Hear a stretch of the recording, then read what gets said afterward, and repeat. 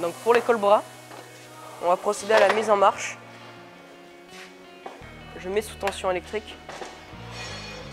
Ici l'arrêt d'urgence m'indique qu'il y a un problème. Donc je réarme, mais impossible de réarmer.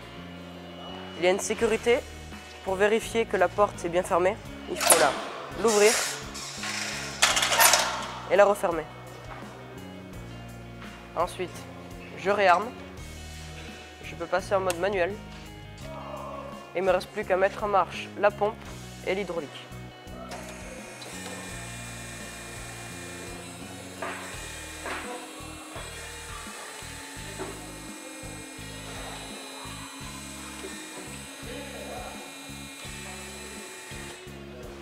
Je peux ensuite les arrêter.